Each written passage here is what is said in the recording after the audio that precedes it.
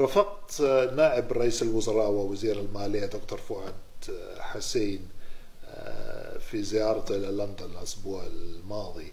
والزيارة كانت ناجحة ومثمرة وجلسنا مع مسؤولين سياسيين اقتصاديين وممثلين القطاع المصرفي في البلد.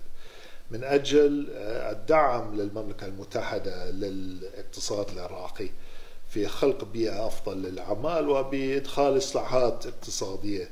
من أجل تحريك القطاع الخاص.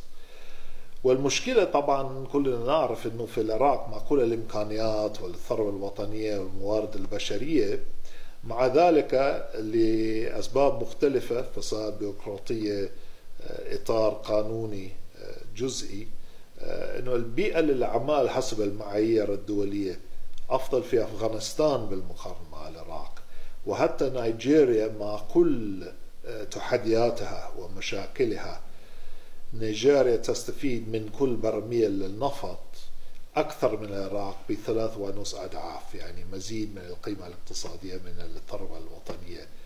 وهذا طبعا غير مقبول لكل العراقيين ولكل أصدقاء العراق بما في ذلك المملكة المتحدة. فنريد أيضا أن نساعد العراق بإدخال الإصلاحات الضرورية وأيضا لتنفيذ المشاريع آلآن لتوضيح للشعب العراقي أنه الشراكة بين العراق وشركائها الرئيسيين في الاقتصاد وفي الأعمال وفي التجارة والاستثمار هذه الشراكة تؤدي إلى نتائج ملموسة إيجابية على الأرض الآن.